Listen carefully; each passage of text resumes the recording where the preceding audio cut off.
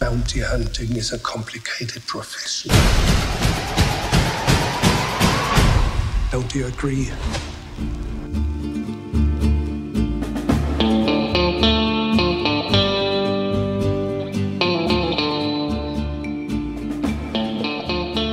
We back with the OG intro. The OGest of intros. Guys, I missed that. it's your boy. Don't you even say it this time. I'm paused. It's your boy. It's Con And sitting across from me, as always, the PR man himself, the man of a thousand names. Justin Baker. And returning once again. I'm back. Russell Allen, magistrate. Yes, he said it. Guys, Of course. I gotta say it. guys. Mandalorian season two. It's here. We we watched it. It was decent. It, it was you know what? I was really just no, I'm just kidding. I liked it. hyped as anything. Yeah. I honestly I I am more hyped than I was episode 1 season 1 with Uh, yeah. episode 2. I can agree because of not knowing what to expect on season one. Yeah. And then now we have so much energy waiting to see what's going to happen. The hype level is much higher. Yeah. And we know it's going to be amazing because season one was epic, right? Yes. Guys, little bit of housekeeping before we get into this episode, of course. Social media, guys, we absolutely love you. We thank you so much for everything that you do. KonKon's Cantina slash or YouTube slash KonKon's Cantina, Facebook, KonKon's Cantina, Instagram at KonKon's Cantina. If you would like to work with us and this podcast, please email us at conconscantina at gmail.com. We have a Facebook group, we have our Discord, and we also have our Patreons. Now, the way that you can support this podcast, Patreon's not for everybody. We totally understand it. Share this podcast with your friends. But our Rate it. patrons are better people than that. I mean, you know, if we're going to split hairs here, you know, there, they get numero uno spots. there is obviously some pluses to being in the Patreon, of course, as you would think so. One of those new bonuses that we will be seeing tonight is our $3 tier now. So anything that you have subscribed to on the Patreon, you'll be getting access to the KonKon's Cantina listening outpost. And on this listening outpost, we are having people call in and leave their hot takes on the Mandalorian episodes for the next eight weeks. So we And have, anything in general, really. Yeah. We're going to let it fly. oh yeah, If you have a hot take on anything, like we look forward to hearing about it and including it in the show if you're a patron. Yeah, for sure. And guys, please once again rate and review this podcast. Five stars, of course, is what we seek. And the reason for this is this really helps with the algorithm wherever it is that you are finding uh, your your podcast. We really, really do appreciate it, guys. The agenda, and and and it may seem like I'm talking fast, but there's there's a reason for that. Not much happened this episode at all. it was a long episode. Like, thank the force. Thank goodness. it was a long episode, right? Like 52 minutes. So we're doing the. If you're new to the podcast and you're finding this because of season two and you're looking for more Mandalorian, or if you didn't listen to season one and you jumped in later, yep, we have a different structure. yeah. So a lot of people they kind of um freelance the episode, is if that's the best way yeah, to they put just it. they jump around, they talk about their favorite points. Yeah. we take a more chronological Yeah. stroll through the episode, and we hit all of the stuff that we've personally loved, the stuff that we maybe did some research on, cameos we find, guest spots that are awesome. We kind of just go through the episode in order, so it's easy to track. So if Yeah. you want to then go back, you know exactly where we were talking about that. You can find what we were referencing. Yeah, and, and what we call this is this is our Mando recap. So our agenda this week is first and foremost we are going to be having our Mando recap. Then after our recap and all of the tidbits that we feel that that you want to know and the things that we appreciated about the show is we will then be following up with the Cantina listening post where we will be getting the fulcrum information from our patrons and then we will be wrapping up this episode with relevant news. I don't think we have a ton of relevant news, but guys, Poquito. We are a Cantina podcast. So we're going to go into the Cantina right now.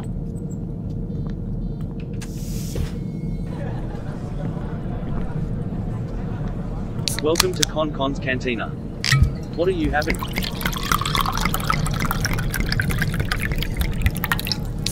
But remember, no droids. Justin, I am going to let you kick this off. Now, I don't know if you've realized this, but we're 50 episodes in. Yes, we are. And in these 50 episodes, to my knowledge, I have always given the first drink. Yeah, you are selfish. Listen, calling it how it is. I like talking about my drinks, but I want you to talk about this one. So I'm going to flip the camera over to you, and don't forget, we're going to talk about camera? where. To- what to do with my hands? Listen, you know what? If you want to just completely, you know, Bobby, Bobby it all, all you want, you know, Ricky Bobby it, that's all up to you. But let's, what are me and you are drinking the same thing, and then Yes, we're gonna, are. yeah. So let's talk about what we're drinking first. So I threw out to our Discord this week. Give me some Mandalorian themed drinks, cocktails, beers, whatever it was, wines, even a glass of spotchka, if you would. I really wanted to make spotchka. I know. I tried to get dry ice today, and I wanted to add dry ice to our drinks so that we had That like, would have been amazing. I know. Fancy. Should have like went to li- Publix. one little Yes. LED shooting up Mhm. into it. But this was from uh, we had two submissions. One of them was from Anders, who is a uh, a uh, patron and also my brother-in-law. His cocktail was a little more fancy. Yeah, Let's we call it fancy. due to obviously all three We of us did- working today, we didn't have time to get the ingredients. Let's just say one of the ingredients was Creole bitters. Yeah, come on, I don't bro. even know where to get that. yeah. So that would be one that I would love doing. Maybe we have him on the show and we have him make this for us. But Jordan Grip, who is our resident splicer, helps us with our Discord. He's been on the show many times. Shout outs the casual kid. he created this cocktail. This is the This is the Way IPA cocktail. It's a extremely easy to make and delicious cocktail. I'm enjoying it. That's for sure. Three simple ingredients. Yes. you want a rye whiskey, a sweet vermouth, and a The oh yeah, IPA. an IPA. The duh. IPA. And your IPA. Come needs- on, bro, get it together. An IPA needs it. It can't be like a citrus IPA or a light IPA. You're specifically looking for a heavy hitter IPA. A double IPA. We use the Boatswain uh, IPA that Connor gets from Trader Joe's, which Yes. is a delicious, nice, potent IPA. It's two parts two parts rye, one part vermouth, one part IPA. Super simple. So I went for a four ounce pour of rye, two ounces of bourbon, two ounces of the IPA, and put it on some ice. And this is absolutely fantastic. The easiest cocktail that I think that I've ever made that tastes this good. Yeah. And the IPA thrown in there is like an awesome little I would like caveat twist that I'm not used to. I would like to change the IPA next time because this Boatswain, I feel like I'm so familiar with the taste that I I taste that more. out? Yeah, I pick it out, but um, This super is what we good. had. We didn't go shopping for this. This is literally Yeah. just stuff sitting around that we use was what made it awesome to make. Yeah. Um easy 7 out of 10 for me. I can see how people would give it a lower score cuz I don't think that this flavor profile would be for everybody, but for us and like what we like to drink and if you're a listener of the show, you you know that we like to drink 7 out of 10 all day. I really like it. For ease of use or ease of creation and simple ingredients and the fact that I feel like you could you could tweak this cocktail to what you specifically like just by changing your IPA. If you want something a little uh, citri- citrusier, Yeah, yeah, yeah. If you want something a little more Or danky. malty, a little more danky. Yeah. Like you could change your your IPA in this and totally have a different drink. So Yeah. I'm gonna give this I'm gonna give this a solid eight because simplistic gets the job done. It's rye bourbon, which is one of our favorites on Yep. the show. It's beer IPA, one of our favorites on the show. And there's no frills. Like it's just like one, two, three, done. Yeah. Super simple. I give it a eight. Russell? Eight Mandos. Covert approved. what are you drinking? Well, mine is like Justin said, pretty simple. I woke up this morning went old school. Yeah. thinking it was going to be like a fun Friday. Oh my God, Mandalorian season two. Uh-huh. Worst day, very busy. Needed something to kind of pick me up because I was just exhausted. So went back to the good old college Jägermeister Jaeger bomb. Trap trap. Ugh. Can be. It can be, It can be. but I do mine a little different. I know some people like to, you know, do the whole drop of Jaeger into the Red Bull and Shot shoot glass it. it, Yeah. But if you look it up, the first thing that pops up, it's like it's mistakenly known as a shot, but actually it's It's a cocktail. it's a cocktail, Yeah. and people sip it. I love sipping it. I'm probably going to be sipping this the entire show. Tastes like candy to me. I mean, it's got that licorice, of course, with the Yes. Jägermeister. Love the licorice, me personally. But it gives you that nice little bump of energy because it's got that Red Bull. Yeah, exactly. So I can't. We talked about this off mic a little bit. I cannot take or taste Jaeger without flashing back to College days. University of Florida, visiting uh, Liz's best friend as she's in school. Jordan is dating slash maybe freshly married to Monica, and we are college party crazy. I was drinking uh, Jaeger and Dr Pepper, which is horrible. I've Yeah, never had no. Jaeger and Dr. Pepper. I mean, I love Horrible. Dr. Pepper and I love Diet Dr. Pepper. It's like the only diet drink that I like. Yeah, that Don't does do not it. sound good. No. But- It's, 22 is like great idea. Can't Yeah, 'cause- imagine Jägermeister with Dr. Pepper. It's not good. Because your older friend gets you the Jaeger and you can get the Dr. Pepper. yeah, Uh, exactly. Russell, 22. Mando score. Oh man, this is a solid ten. This, What? Come on. Hey, this is opinion. This guy's the most. True, true, true. Okay, This is you're, opinion. You're not wrong. He's got to keep the streak. He's got to keep the streak. let- yeah. That and the fact that this has always been one of my favorite drinks. I don't want to take too much time, but can I tell a quick little story? Yeah, Yeah, go, go. So we were going to a party Okay. back at back in the day when I was I and my current wife Whitney. Did you make her a lemon drop? no. Um, we were going to a house. We ended up actually it was a mutual friend of ours, but Uh-huh. it was a dry party because he was you know recovering and all that. So I was like, you know what? so We you brought Jägermeister. You're No, no, no, no. Obviously, I make this Jaeger is the bombs. story. This is the story. So I was like, "There's dancing here. There's no way I'm going to be able to mac on my future wife, Whitney. Okay. If I don't go to the liquor store and buy some drinks. Yeah. Well, my go-to back Liquid then, courage. Right, liquid courage. My go-to back then was Jaeger bombs. I just like to mix them and kind of sip on them all night. So I go to the store, I get the stuff, I come back, I'm like, "Hey, yo, guys, come out to the parking lot driveway area. Yeah, yeah, let's yeah. let's water bottle this junk." Parking Yeah, yeah, lot. yeah. I'm thinking we make it, we put it in the water bottle, and we take It it, looks inside. exactly the same as water. yeah, Brown, clear, you know. You know, no one will, no one will care. They won't know. Anyway, so I make it Uh-huh. and I pass Doo-doo it to design. my future wife Whitney. You know, before I can turn around Uh-huh. and, and basically get a because I thought we were going to share it. Yeah. She downs the entire water bottle of Jaeger Jaeger bomb. Oh. To this day, No. That's how I knew. to this to this day, she you know because she's a dental hygienist, she's not a nurse. Yeah, yeah, She yeah. doesn't nurse any drink. In fact, I don't give her a drink because I know it'll be gone. She just she likes some pe- some people are like that. She Wait, was that? Hold on. Was that a very bad pun joke? Yeah, She's a dental hygienist, not a nurse. She doesn't nurse any drink. Love it. I'm a dad now. Did you guys know yeah, so he's got he's got the dad jokes on cue. I got him. I got a list. No. Edit this out. Yeah, I love it. It's, it's hilarious. anyway, I tell this story a lot, and I- I, I haven't people told it don't. because of the pandemic and because we don't like go out and go to parties anymore. Yeah, because of the yeah, pan- exactly. This is the first time I've told the story in a long time, like Yeah. probably 18 months. I like you revert immediately back to the Jaeger bomb. You're like, I was first time hanging out. I was need- tired. All right. No, This no, gives it's you a little fine. Boost. Uh, It like I said, I, I I like like it. I like the Jaeger bomb. Uh, so ten out of ten.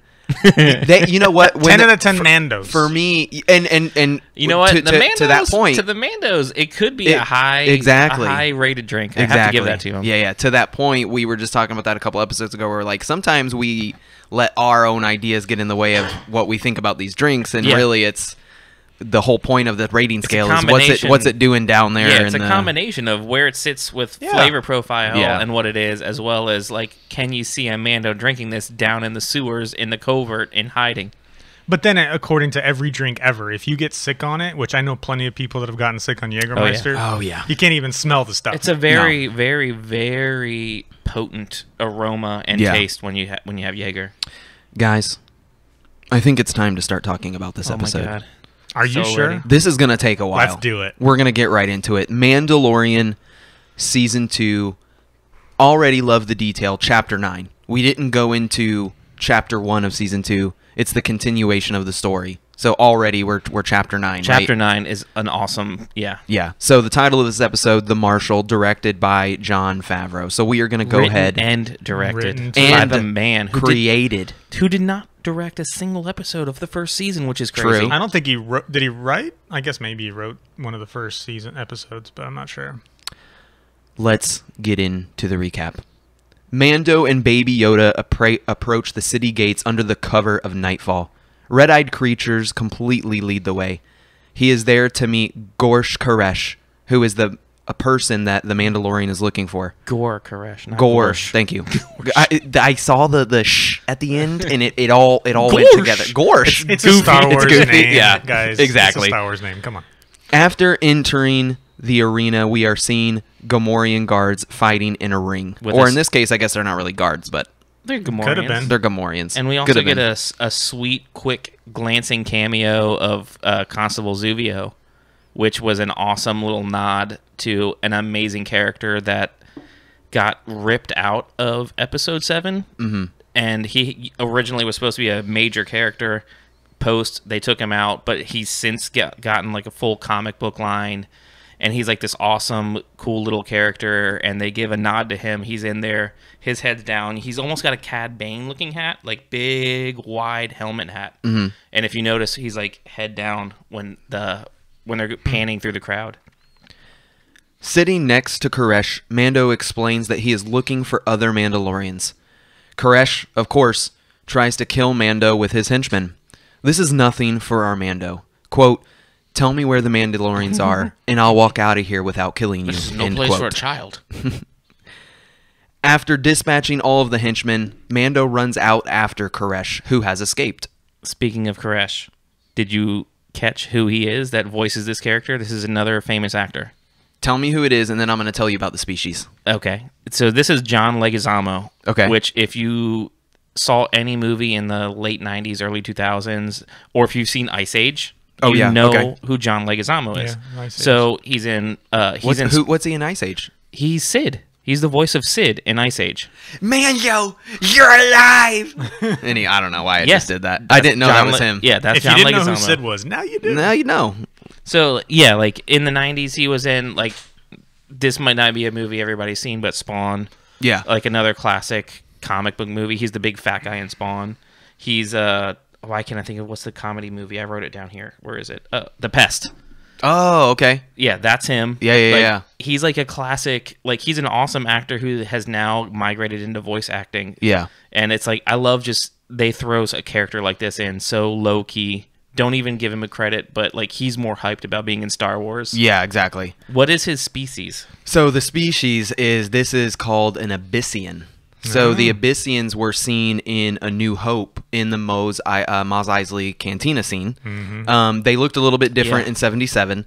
Um, A the, lot more practical effects. Yeah, the very Low budget. l- like thinner face, same species. I mean, you know, you can have species in the Star Wars universe. They all look different, you know, same species, but they look different. But the first time that we did see the Abyssians was in '77, and and I like how there was some other um, species that we saw in this ring scene. Mm-hmm. Remember the voice, the the voice acting character that uh, Hamill did in Rise of Skywalker, the guy with the horns that came around yeah, yeah. and Kylo like, they- cuts like his side head off mouth. Yeah. there was a it looked like a female species of that same kind and i didn't do the i didn't get a chance to do the research when we, after we watched it but um, there was a ton of species that we had already seen beforehand and then you know having some reoccurring ones which yeah, i really It- liked It felt like another cantina scene where you just get kind of bombarded by a ton of cool stuff. Yeah, exactly. Like these cool aliens and species, things you know, things that you feel like you know, but they're like done differently. yeah like one of the things I remember when we talked about the trailer of this, and we just had a quick flash. I was wondering, I was like, man, he looks like he's practical effects, but then hmm. he looks off. And now watching this episode, I feel like he was done in practical effects, but his mouth was CG because his mouth is moving too fluidly. it de- and the eye the eye looks real the way that the Yeah. eye moves because it's kind of like off in a way where the tracking is not perfect Yeah, like, it's like this was like CG captured. Yeah. right in this in the mouth area as he's talking. I'm, I'm like getting off mic because I'm trying to yeah. gesture. I wasn't even trying to give you a hint. I was adjusting my own mic, but yes. well, like, it's cool. I love that they have the ability to do this now. They can make these the aliens that look so good in practical effects. Yeah. But when they when they talk like that, like oh, it was just an open flopping thing that they had in the '70s. It looked cheesy. Yeah. Now they can make these hybrids, and it's awesome. and I I liked the feel of this guy, um, Koresh too, because we kind of have this reoccurring theme of like mob boss, crime syndicate, Crime Syndicate is the word I was going to say. and yeah. and he's totally he's got to be crime syndicate, you know, of some sort. You know, these are the people that have that that type of knowledge. when we were watching the trailers for this episode, which was pretty cool to see all these mm-hmm. scenes from the trailer. Because I'm sure if you're like me, we've watched the trailer like 30 Yes. times. I thought Shoot, originally, we watched the episode like three times today alone. So yeah, mm-hmm. yep. I thought it was Jon Favreau originally who was voicing this. yeah. which you know, it's always cool to see. You know, like M Night Creator Shyamalan was always pride. in every one of his movies, but Yeah. it's Yeah. nice to to see a fresh face. Um, but as far as the animatronics go, obviously the technology's gotten so much better than it was in the 70s. Yeah. And there probably is a guy like over in the corner with a remote control, like controlling every little bit of his face. And uh, we saw a lot of that in the gallery. That there's three people in total. Yeah. At, at well, five people in total, but there's three people with remote controls for Baby Yoda. There's one that does the ears, one that does the eyes, one that does the mouth, and then there's puppeteers for the arms. And then they ha- usually have somebody in green screen. Or no, no, no, he is remote controlled too. Like he can actually walk. Anyway, we're getting. Super They probably have sidetracked, like a few different models of Baby Yoda. One for Yeah. sitting For in the pod, one For for, sure. walking. And, Yeah. And then animatronic or um, animated as well, CG. Yeah, they got to have some stuff for him that's CG. So back to the recap. Koresh, of course, is he's trying to escape, right? So his henchmen's get they get dispatched boy by takes him Mando. out. Oh, easily. I love how out- he walks away. He's like waddling away. Dude, he, I, he, he reminded me of Patrick. He's like, oh, oh, like from SpongeBob. Like I don't know that. Uh-huh. Yeah, he, he got me when he Patrick. Was, yeah, he was running away. That one got me. Our boy crushes him. Yeah. Um. So, Whistling bird crazy. Dude, he, the the way that he dealt with I'm the not henchmen. gambling. Yeah. Yeah. Exactly. It just yeah. But we get the the the scene. So Where do you much get of new this. whistling birds. well, That sh- was from the armor. Where do you Yeah, get but I those? think she I think it's implied that she gives him extras and that's why she Restocked. says use them sparingly, you know? Like I can't imagine she's like, "By the way, you got you got 9 of them." I just like, like, that's that. it. I mean, that's a cool little. Like, well, and we kept track of them in season yeah, season we 1. were counting We like did. each one that she used in that episode. Yeah. So it's cool to like to kind of I don't know. I like the logistics of the universe. Like, Yeah, where yeah, do you yeah. get those if they were so rare? Yeah, and I mean at the same time, they exposed themselves on that lava planet, whatever that was. So most likely they don't have any foundlings. Because remember, he said he was gonna like save some Beskar for the foundlings. You know, this is the way. There you go right there. So it's possible that he had some extra Beskar laying around. Uh, we were actually talking about that cuz Justin had an epiphany. Yes, And a, a feel real dumb moment. Explain that real quick just based on what he was saying with So- the Beskar. Okay, this is a conversation I think we Me, all and three Niles. and Niles have ha- like We had the- yeah. we've had this multiple times. Like our boy gets his new armor in season one, and we're like, I think that Why that is the episode, thigh the next episode, like his thigh is like the same as it was before, and we're like, what the heck? We thought it was a continuity error at the time. we they just never really addressed it. When in reality, we're just all three freaking idiots. yeah. Do you know, like, so obvious when he says, no, set this aside for the foundlings? Mm-hmm. He literally takes some of the armor to complete his set and gives it to the foundlings, gives it to the armorer. And that's why that one piece of his armor Is is not not, complete. Beskar. Okay. it's his leftover and piece. is it still that way today? yeah, it's still yeah, that way. It's still that way even. So I like I had that epiphany and I'm like, I'm an idiot. like I, I literally like it's one of those hindsight moments where you look back and you're like, how did I not see this? How did I not Right. realize this? It bugs me so much. In fact, I realized that six months ago. It's, no, it's fine. in Batman esque fashion, we have the most amazing nod and callback to season one, chapter one, where Mando is wrangling up Koresh, hanging him from the light Dude, pole. such a callback to the first episode. First episode, season Yeah. one, first episode, season two. My favorite favorite Yes. scene of the entire season was Yep. that scene. Definitely not a coincidence.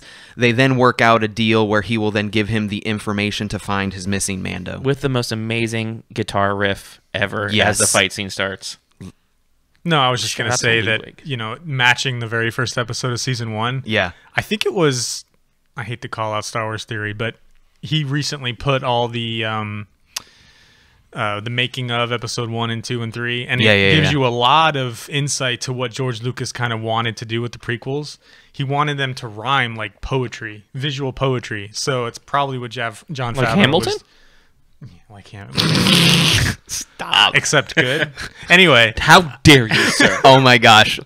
anyway, Yeah, yeah, no. I, he's it- visually rhyming just like Lucas would have wanted him to. Yeah, now, no, that was does, my yeah, point. does that sit well with you guys or does it not? Oh, I Oh, love I it. love. I don't Yeah, know. yeah. It's it's just a trait of Din. Like this is his move. Yeah. It works. It's a trained. Yeah. It's a muscle memory thing It's for how he him. kills. grapple, Yeah. Mandalorians grapple, kill. reel him in. Like that's a muscle memory. Like this is something Yeah. he was probably trained a thousand times growing up, being trained as a Mandalorian. After the Mando is given the information that the Mandalorian he seeks is on Tatooine, he lives. He leaves uh, Karish for dead. Mando then flies Koresh. back. No, we didn't talk about the red eyes. What the oh heck yeah. are Okay. those? So do you want? So okay. We were talking Connor about this. Yeah, I have a theory. Who's the dodo that thinks they're Loth-cats? Me. I mean, he The city. The city looks. really bad. The city could really look like Lothal. Yeah, it does. It does. Like I'm the gonna give you that. graffiti. I give you the graffiti. The graffiti. buildings. If you look at the buildings with the lights on the it- top, yes. Yes. they look very much like um, Rebels Lothal. This is the first time we don't get named where we are, isn't it?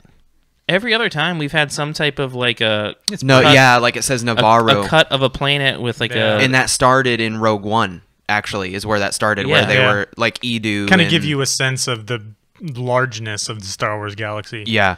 Well, to to me, the when they're walking up and like we said, the graffiti. Some of the graffiti we saw. There's a lot of um, nods to nods and history, Easter yeah. eggs. And it, like we saw something that C-3PO has to be. C-3PO. Like It there's no to way. Yeah. There's no way that's not C-3PO. there's some stormtroopers. You're gonna be a permanent snowtroopers. resident, Goldenrod. there's also Boba Fett's fern, his fern signet. Mm-hmm. Yeah. In Yeah. in the in the graffiti. Anyway, Vader. Loth-cats uh, have been portrayed in different ways in, in Star Wars books and in Film, TV. a- a- yeah in, in Rebels mostly and Galaxy's Edge. kind of like a, a a trash panda, a raccoon, a cat. well, You know, obviously a cat mostly, but to me, I just I think it would be cool if we find out later that They're like, like, maybe Mando just says back when I was on Lothal. And I left what's his face for dead. I'd be like, ah, you know, I don't know. I just, I would like it to be Loth-cats. I don't I care think- if they, They looked more ominous than I never got the like. Uh, But they the changed Like- how we saw Gamorrean guards now. We kind of saw Gamorrean guards as they fat were and still, lazy. They were still warrior. They were just lazy warriors. Yeah. Anyway, my hot take is I think that it's Lothal, and I I hope that it's Lothal. I Anyway, hope that I the hope that it is Lothal. that would be super cool. I mean, Jawas. Come on, glowing red eyes.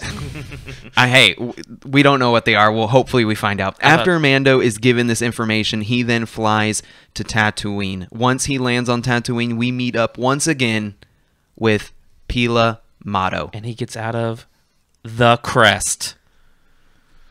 Oh, the- You this does not Okay, definitively all right. answer it. That we This still does- arguing about Yeah, the yes, fact that crest. it's a No, Razor Crest nah, is the the name of a ship nah. or the type of ship. Yes, the we are. Crest. It's first of all, it's called the Razor Crest. It's the name of the friggin' ship. The Can we drop this? The Not until- Falcon, not Millennial. Not until, that's never been the name of anything. Millen, mul, mul, mul, mul, mul, Millennial? Mul, mul, mul, I'm just gonna keep stuttering on purpose. Anyway, so I had we a mean point Peli. there, win. but I, I can't I remember accept. what it I was. accept that I won. You did oh, not win. I have a point. I have a question. Yes. Previous episodes that I've been a part of, you guys have had or shown angst, concern for the fact that we're visiting the same planets over and over again. No, Yes, not that's us. me. No, no, no. Just him. That's me. Okay, just just Yeah, let's get that tr- for the record straight. That's me. Yeah, that's so how just did him. you how did you feel when he's like Tatooine? You're like, ah, Tatooine again. Yes or no? Long pause, Mister Long pause. Justin. Long pause. They gave a legitimate reason to go back. I wish they would have picked a different planet in one fashion, but they at least had Oh my god. Story and a somewhat of a reason to go back there. Yeah. I, I, I, it's I still thought not of my you. favorite thing. I thought of you initially when I heard Tatooine. I'm it's like, a lot of fan service when you go to Tatooine. It's so much fan service that even like a a surface like ah yeah I like Star Wars. They see Tatooine and they immediately they can like associate where they are, and I think that goes a long way. That they need to do that just enough. And if this is the only episode that's like a Tatooine centric episode, that would be fine. I'd be fine with it. What was what was the planet of the first episode of Mandalorian? I'm drawing a blank. Nevarro. Was it the ice planet. No, it's the ice planet, the cold planet, where he goes to get the bounty. That's the first planet we see in season one, chapter When one. did we go to Tatooine? Was that oh. like episode two or three? Episode five, thir- Gunslinger. Yeah. So yeah, not poetry. No. I, I, I'm I'm perfectly fine with going I back to too. Tatooine. There's a lot of history But on that- Tatooine. But it also makes no sense because it's such a pointless planet. But why does everybody go back there? Well, we're getting to the entire point of this episode It's as a to why we're on Tatooine. I know, there's reason. Like, it's my a goodness, force yes. nexus. All right, let's move forward because it is. we is. could- we're- It's a force we're- nexus. We're tangent. So once uh, whole our Mando lands, we meet Peli again, and no doubt after the death of IG-11, pour one out for the boy. Oh, IG-11. boy's up there. I don't know if that's he- on camera. If that shows. It's not, No. but um, he lets the uh, pit droids work on the crest, which is super awesome. He changing all his has, changing his vibe on and she even comments on it. She says, "Oh, look, you know now, you know now he has affection for droids." All he had to do was hit the nose, and it would have stopped. Mando again explains that he is looking for more Mandalorians, and he explains that he needs to find them to help with his quest. And he is also looking for a city called Mos Pelgo. as R5 moseys on out as lazily as it ever can. The R5 callback cannot be. It's awesome. It's yeah, even got the oil stains. yeah, from where he When blew I the. first saw him, I'm like, oh, it's the same model. Is it the same one? But then when yeah. you, I mean, they purposely. Yeah, went oh, yeah, him. for sure. Yeah, like the- look at that oil stain. over the headshot, and you can see like the Right where the motivator- Yeah, And then Justin, you or Connor, one of you, I think it was Justin, is like, oh, don't, don't hurry. You know, take your time. Yeah, yeah. She, Peli Yeah. goes. She's like, you know, take your time. It's it's hard to find help these days. I don't even know where to no complain. motivation. Yeah. yeah. um, I like that he he comes up and he brings up the map of Tatooine, and it kind of reminded me of how BB-8 and R2 Yeah. both do the same thing. They kind of display that map. I, The I map really, before the war, isn't that what she said? This is how. yeah. Well, during the a map from- Empire, okay. during the Empire before. Oh no, no. uh, yeah, I think you're right. I think they like- said before the war. Yeah, This something is like how- that. the- the Oh, yeah, like this is what our planet looked like before Yeah, it the was- fall of the Empire. Yeah, it was old. So fi- so five years ago. So uh, after the R5 callback, uh, Mando borrows Peli's old speeder and he sets across the planet in search of the city Mos Pelgo. Swoop bike gang. Upon arriving into the city, things look pretty bleak. He enters into the cantina. Shout outs to us, just saying. Um, and he asks the bartender about a Mandalorian that he's been told about. So when he is idling through that town, Yes. I just slid Russell my phone. Uh huh. There is a cameo that is amazing. God, what is this cameo? Oh my Who is God. it? I don't even recognize him. That's Look- what I said. I knew this clo- was going to happen. Look closely at his face. I just sent it to him. There is I've both been making a out with him. I'm, a- I'm close as I can get. video game as well as voice actor cameo. Very Sam Witwer? yup. Really? What? With Let me see. long hair? Sam Witwer, who Dude, is I got his uh, autograph on on Galen his Marek, Unleashed. Galen Marek, or better known as Star Killer in Force Unleashed, and even probably more well known, Dude, that doesn't look. the voice actor of Darth Maul.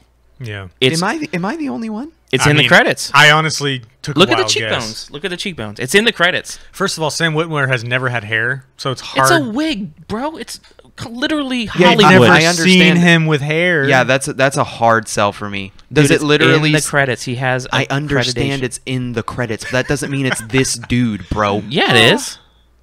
it's it's the dude. I, I see it. If you don't doubt me, Google me. I mean, Google it. Go- Google it. Google me. I don't, mean, don't ever Google yourself. That's like a big no-no. by the way, this podcast comes up when you Google me. But how cool is it? Like there again, including like these video game and voice actors, like just to get back. Where's the camera? Sam Witwer Dude, is Who's a huge You're on. Star Wars fan. Though. Oh. Do that one. Whoa, there he is. It's not gonna focus on Yeah, that. well, it's it's zoomed in, so it's kind of blurry. Yeah. that's our boy. Look, that's look, Star. Killer. He's taking down a star destroyer right now. Don't look at my dirty thumbnail. oh my gosh. Okay. Gives a whole new meaning to That's so cool. Like I love that they like include like they look for ways to include the people who are proud of what they did in the universe. Mando then asks the bartender about a Mandalorian. This is the reason why we're here, right? He's looking for more weird. Mandalorians. What does he look like? He what looks does he look me. like? Yeah. Doesn't know what he looks like. The bartender explains, "Oh, you must be talking about the marshal. Does the Mhm. marshal wear Mandalorian iron? Well, I don't know who thought of this idea. see for yourself." And uh, he looks over, and there we see the skinniest of Boba Fett. Yes. Oh my god. same same path as like the it. the hipster the hipster uh, malnourished stormtroopers in the first season. Yes. This is hipster malnourished Boba Fett. Give me his diet because I need to lose some weight. I don't know if I want to lose that much weight. Okay, we did. We had some concerns. We legitimately thought like Does Timothy Olyphant have, have cancer. No, for real. Like we were legit like No. Timothy's looking because we we watched Justified, Yeah. and maybe it's the suits, but Timothy has never looked that skinny. So I actually had to like Google and like, oh, has Timothy been sick? Like it's just uh, something that I didn't know. but, there's but- I couldn't but- find any information. But can we take a second to talk about number one? How good is his hair for taking off a helmet? oh my gosh, how good looking is he? The dude called- makes me feel like a sack Called- of crap. It's called cut. Yeah, yeah, exactly. if anybody has Makeup. ever Makeup. worn a bucket, a helmet, a cosplay helmet, a motorcycle helmet, a baseball hat, Dude, it's Timothy anything. Olyphant, Well, you remember the when- second you take it off, you have like oil matted hair. Well, you he remember- took so perfectly salt and pepper quafted into the air. I'm like, this guy. He's a good-looking guy. Anyway, when Pedro took off his helmet and uh, he looked real. yeah, yeah, yeah. that was yeah. like, dude, helmet Pedro's hair, like, ah, there it is. helmet head. Well, we kind of get this vibe, like you know, and we'll get into the rest of the scene. But he doesn't have his helmet on a lot, so maybe like right before he walks up to the door, he put the helmet on. You know what I mean? And then That is true. You know that that, That could be true. a possibility.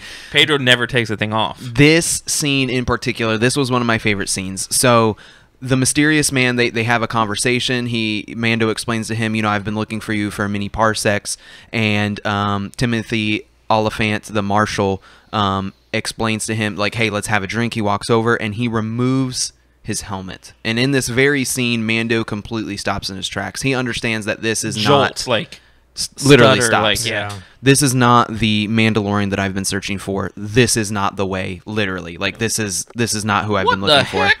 The mysterious man removes his helmet. He then explains that he is aware of the reputation that Mando as a Mandalorian should have being a good killer and that he knows that he is not happy with him wearing this armor.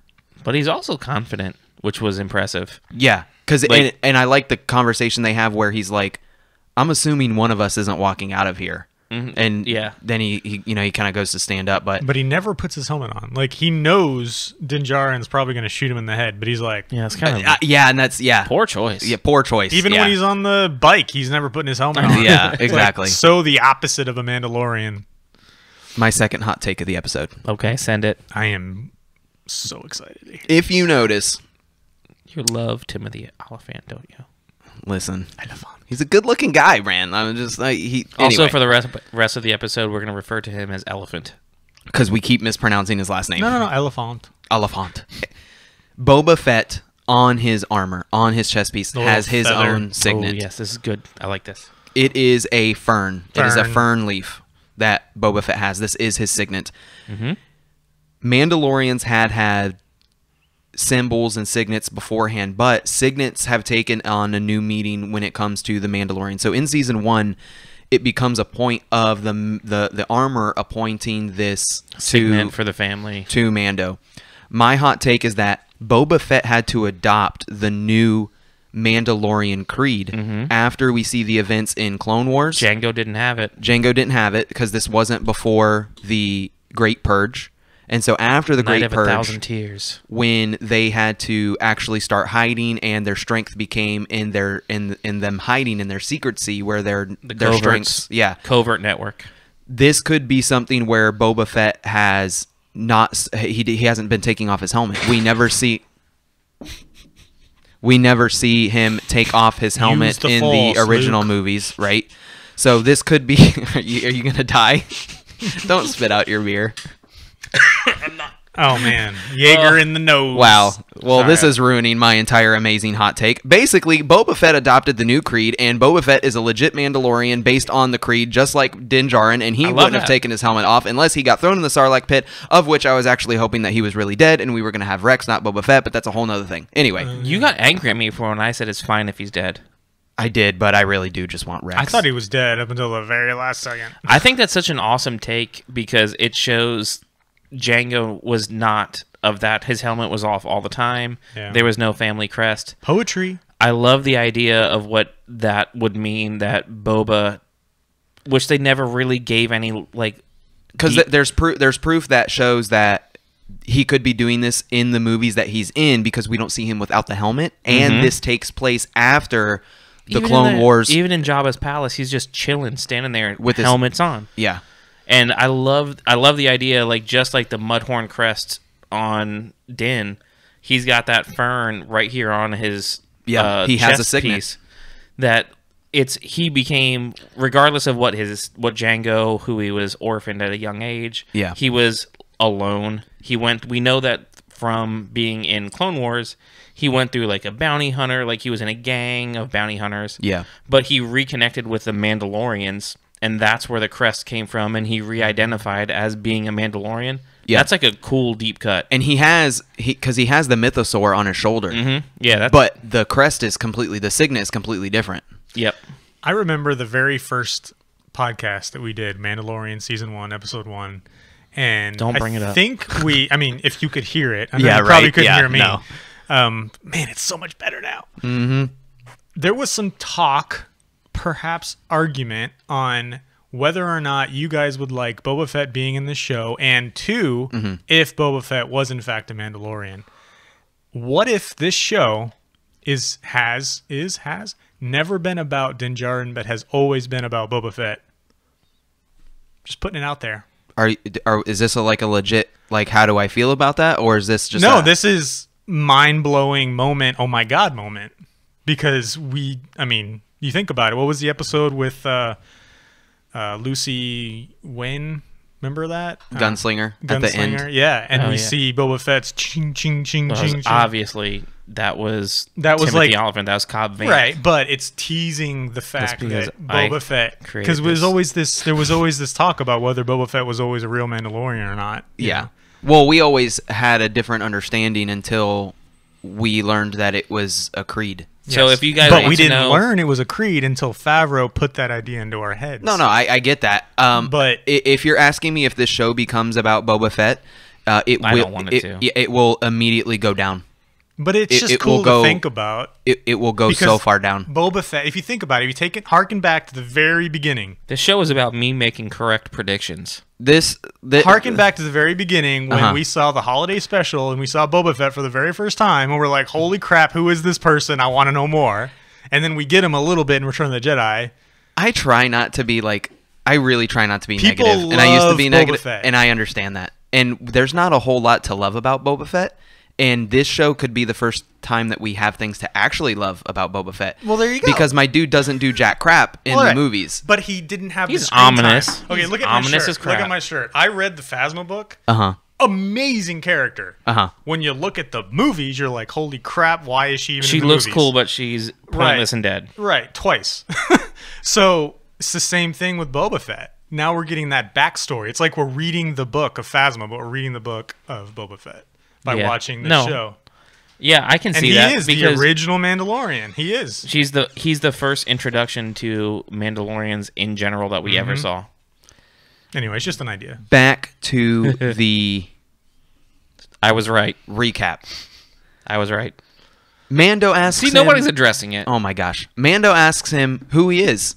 He says, quote, Cobb Vanth, Marshal of Mos Pelgo. Mando then demands that he takes off this Mandalorian armor. After the stare down, the whole ground begins to shake. A great dragon has been ravaging the entire area. In dramatic fashion, the dragon swallows with just no effort at all an entire bantha Can we talk about the Rip. oh my god Those moment big when old we bantha saw- lips. Dude, poor bantha. As soon as it started ru- rumbling, I'm like, either it's an earthquake, a ship, or a krayt dragon. Like, for krayt dragon was my third option. I didn't go to Krayt Dragon. I went to big ship or tank situation. I went to imp- I went to I went something to krayt imp- dragon imperial. third. Like, Yeah, yeah, It was yeah. my third option, but it wasn't until I saw the sand that I'm like, krayt dragon. yeah when you it was like oh like tremors. Yeah, Just a yeah. graboid. Grabloid. The Yeah. spice must flow. I was Yeah, thinking. Dune would have been. A, yeah, the big, big giant worm. Uh, I, same thing. I was like, this could be Empire, or it could have been um, whatever he was put in as Marshal for. Like whatever he had to become because Marshal he for. definitely he was not surprised. What Ka was like, this again. He- It's like he- yeah, like he- I gotta my go- dude gives him gotta the go- finger. He's I like, gotta hang on, deal this." I gotta listen. I gotta go do my I Marshal don't have thing. time for you, Mandalorian, who's here to now apparently like duel me in the middle of the cantina. Yeah, literally. I This have is my else house. Attentive to, At that to moment, deal. I totally saw Kevin Bacon on the sidelines. Cameo. A deal is struck between Cobb That'd and awesome. Mando that would have been awesome. to help kill the Krayt Dragon and They in set ret- their spotchka down. Jeebus. Sorry. This is the longest recap ever on the longest episode ever. But it was so good. The deal is to kill the Krayt Dragon and to get the armor back. Traveling to the the Krayt Dragon's nest, we find that Cobb pulls up in a modified speeder using Anakin's pod racer. We think. I mean, it probably is. What? We think. What do you We- mean There's no think? confirmation. How about the visual representation of the left or the right engine of Anakin Skywalker's pod racer? And the fact that he rides Have we side saddle. Have like, we seen? Have we seen episode one since we've seen this episode? the the Dude, I don't need to see it. I got the the, same- toy right it's here. It's freaking his pod racer. I'm just And he creating sits- suspense. Of course, I think it's Anakin's. I pod love that he okay? sits like it's just a giant engine and his like he's got like a modified swoop bike Oh, it's like awesome. saddle and seat and controls but sits off to the side of the thing. and the fact that he that Jon Favreau thought of that, like that is such a cool Easter egg. You know. Yeah. Cod then explains how Cobb. he got Cobb then explains how he got Man, I want some fish and chips. Boba Fett's armor. The reason why he got it is because he was basically saved by Jawas, and then he traded the crystals, as we find out later in the episode, for the armor. The ice cream machine is back. While pulling into the valley, they are confronted by a pack of massiffs, which are the dog-like creatures that we see on their Episode two. Wikipedia said that they could, they're known for two planets. I can't remember what the second one was, but uh, Tatooine is definitely one of them. yeah, Um, that's where we I think we all remember him from was the Tusken village scene. Yeah, Yeah. episode two, Attack of the Clones. Yeah, for sure. Um, and the Tusken Raiders. Mando once again strikes a deal involving the help of the Tusken people. The Tusken people bring them to the abandoned Sarlacc pit to see the dragon for themselves. After seeing the size of the krayt dragon, Mando offers the help of the village because they simply know that they need more numbers to defeat the dragon. The village, of course, is not happy, and with having to work with the Sand people in particular. After, Racists. yeah, seriously. They They're were like just- super racist. yeah, they were just not happy about it. That's a common theme in Star Wars, though. Yeah. Yeah. You know, and this is actually one of my favorite things of Mandalorian season one and two is we're seeing this intellectual side that we've always been painted the picture of They're mindless beasts. mindless savages, beasts, and, honestly, yeah. I think that's what Lucas was trying to go for. So Native I don't- American-y. If we can get Lucas on the on the show, which I think he's coming next Tuesday. I mean, he responded to our emails a couple Yeah. of times, so Well, I've spoken to Timothy Zahn. true. here we go. Facts, facts. Here we go. Anyway, so do- George has. He said he's going to get back to me. He's been and, reluctant. You know, You know, he's got. Eh, listen, he he listened to the podcast and he the hated it. number one podcast of all Star Wars podcasts rejected by Timothy Zahn. This podcast. He didn't reject us. He simply said he is too busy to participate in podcasts at the moment. And we know why because if you follow us on Instagram, I posted breaking news that the second book in Oh the my God. second Thrawn trilogy has been announced to You come out next first one. year. I haven't even finished the first one. Yeah, I haven't either. But it's just important because he wa- he didn't BS us. He was like, I'm busy. Back to the recap. Back to no, I wanted to bring out my point because Lucas has a very strong conviction on how he wants his character development and stuff to go. He's always portrayed the Tuskens as like evil, you know, like taking mm-hmm. Anakin's mom and stringing Brutal. her up. Yeah, yeah, yeah. They're very brutal. I don't think he would particularly like the way that Favreau portrayed them in this episode. I don't. I think don't he- think so. I think that they got misidentified.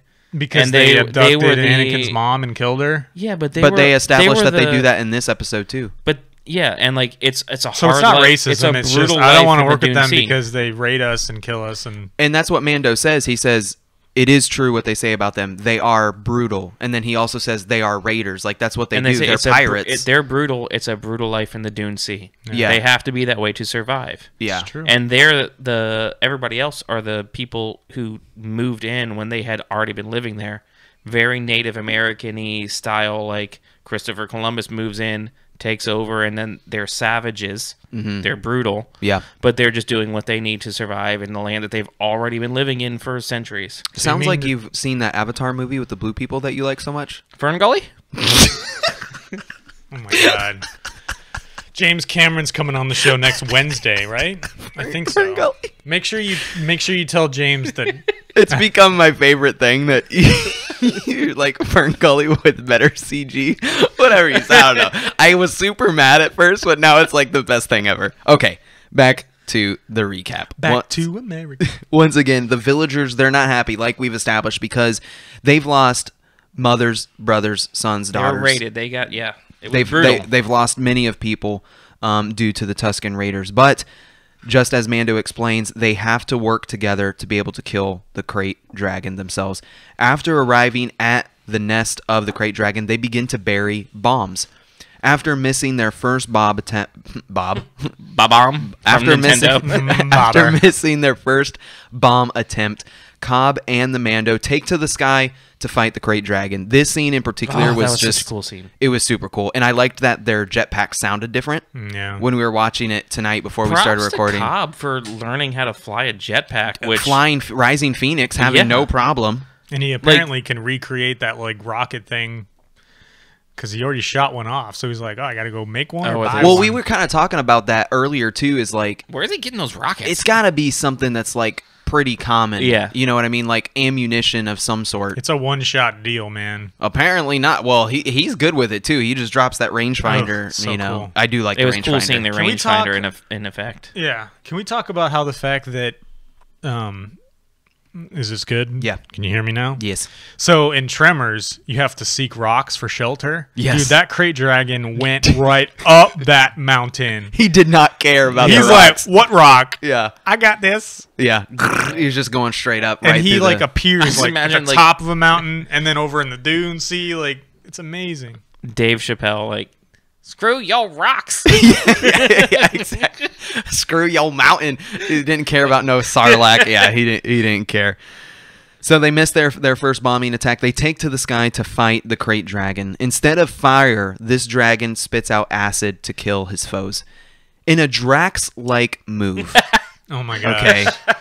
Shout outs to Dave Filoni. Dude was like, guys, I've seen this in a movie before. hey, Uh, remember that Marvel Cinematic Universe that I created? Let's do that. yeah, let's do that. I love I love this part. Like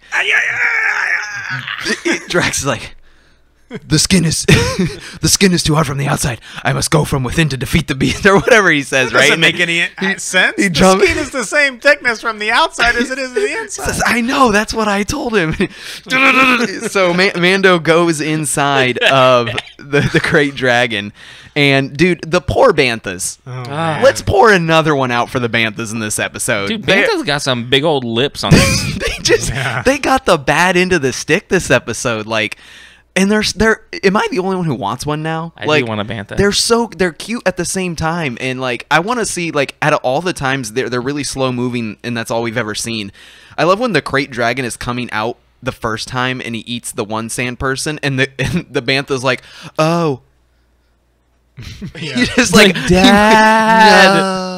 he just moves like so slow. Like he doesn't even care. Like if there's one time to move quickly it's when there's a giant japanese speed bullet type train coming at you with teeth Shout out to whoever played Galaxy, uh, uh, Dude, Star Wars Star Wars Galaxies. Galaxy. give us give us the breakdown real quick i played you played russell played Th- This if is- this isn't somebody on the It's writing team exactly the cave So from Star Wars what makes me what Yeah. makes me laugh is like on the internet everybody's like, "Oh, like this is straight from KOTOR." I'm like, "You're not wrong, but that's not but where you're it not but originated." you're, but you're not right either like this was a Galaxy Star Wars Galaxies thing is there's so- hunting krayt dragons, Yes. getting a krayt dragon pearl, which Yes. was like the most It was a lot. It was um.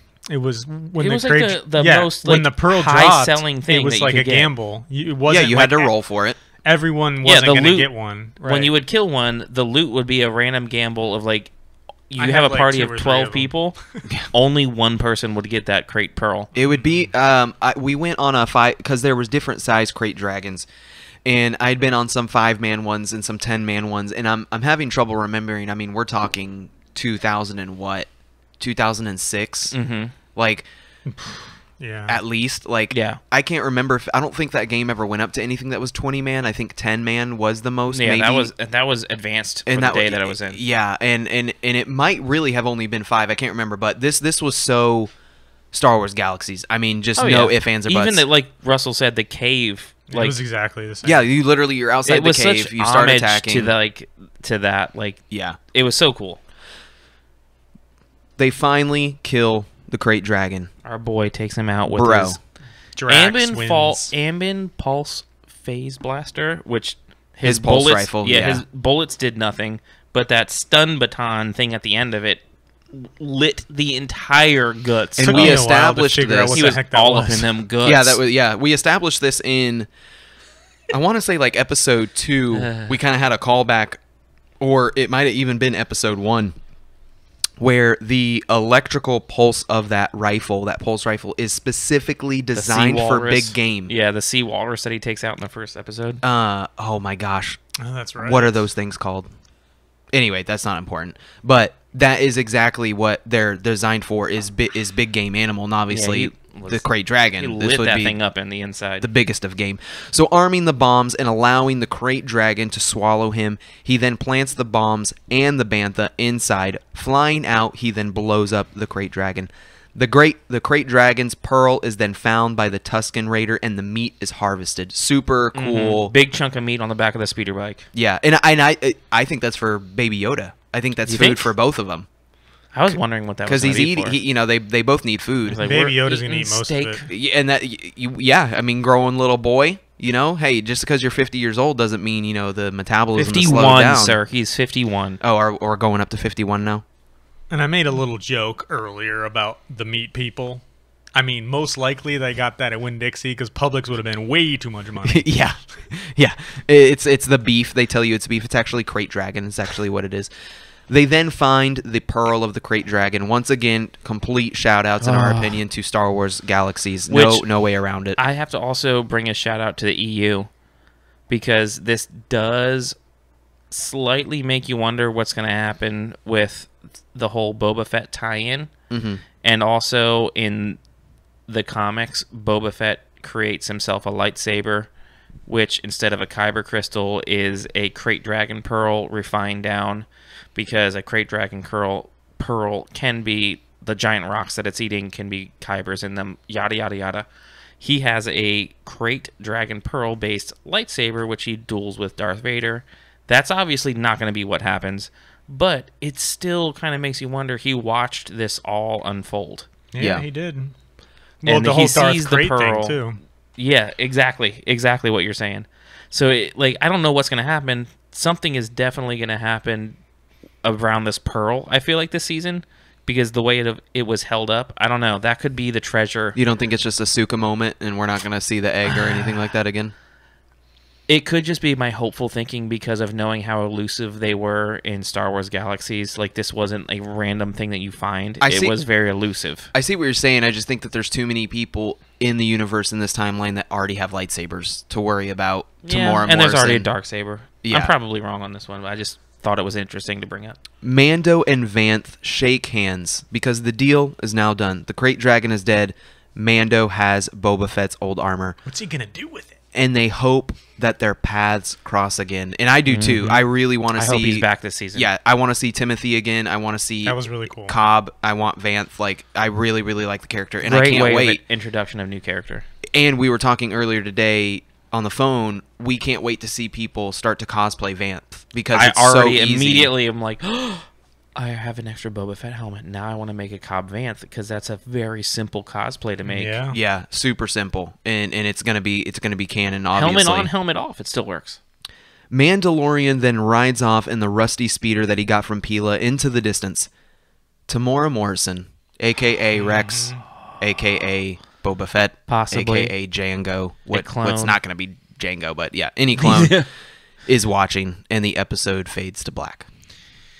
So Yes, it's still technically a possibility that that could be Captain Rex. yes, Yeah, shaved so beard. yeah. He- Well, the beard. Yeah, he could have shaved. So this we- is five years after. We talked about you don't know how old Boba is. I did the research. Uh-huh. Boba should be between 40 and 50 right now. which, with the shaved beard, I think he could pull that age look off. and you got to remember, Alec Guinness aged like twenty years and or fifty True. years and twenty years. So Well, what I was telling Justin is, with if you're gonna make if you're gonna take Temuera Morrison and cast him now, and it not be Rex, But Rex should be We like know- 90 with that math.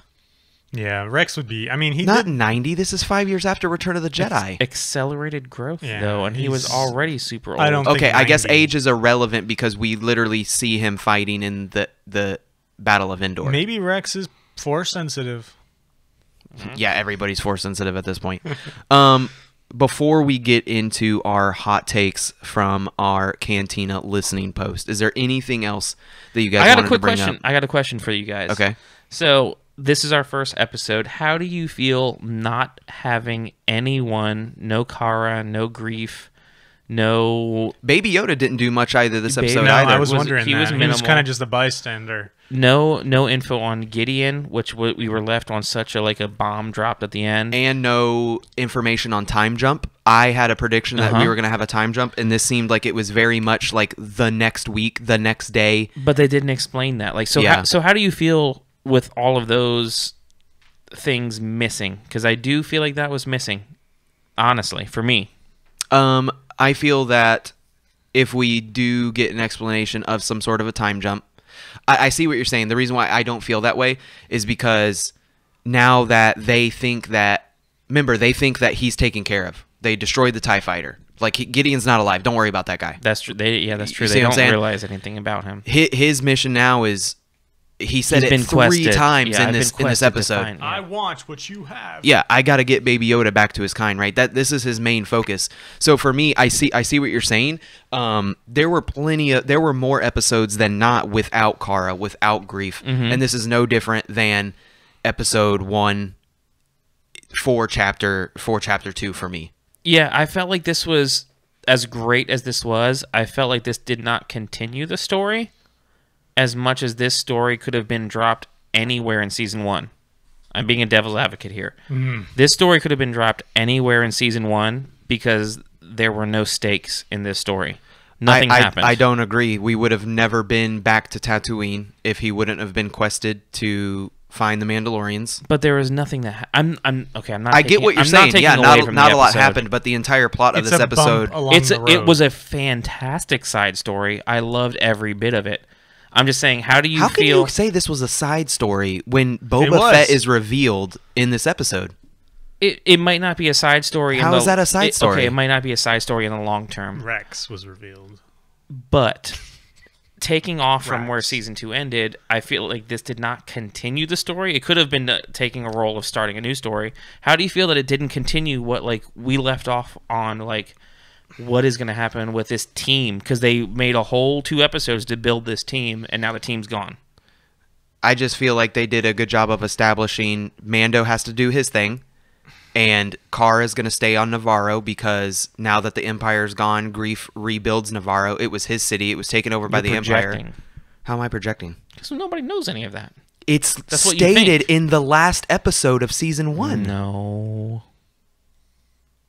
I, I, we will stop the podcast and pause it right now, and we'll go play it. and it's in the recap. Guys, of the first one. I don't understand the question. I don't think that this is not a continuation. I think that the story left off exactly where it was left. They think that like wh- wh- like where do you think the story has to go? Like you answer I that question. Don't think it, don't take this as I dislike it. I'm no, just I, like, am I'm not being- saying you you dislike it. I I would have liked to have seen some type of like uh the three of them are together like Greef. Yes, I would have liked that and too. like it's like okay, well I have a lead on this. I know something would have been nice to see like what where like A phone call, How a the- transmission, a anything, hologram. Yeah, like yeah. anything would have been nice to see, like how they went from that ending of that season to like now Mando and the child are off on their own again. For me, that would have that would have like put a bow on the story to continue it, like end that season but continue the same full story. I didn't like how this was and I'm saying this very, very, very like trying to like be devil's advocate finding something wrong in something that like I've been so hyped about all day long because it was perfect. yeah, yeah. I'm but I'm just talking. So that is the only downfall I feel of this episode. I would have personally liked to have seen the end of season one a little more seamlessly flow into season two in some way. Like you said, a transmission hologram would have been perfect. Yeah, I could have had something like that for sure. So I guess I can see where you're going with this, Justin. And if you look at other shows, especially like you know the whole Monster of the Week thing, which is obviously what episode or season one was kind of um, following that whole kind of um, template, if you will.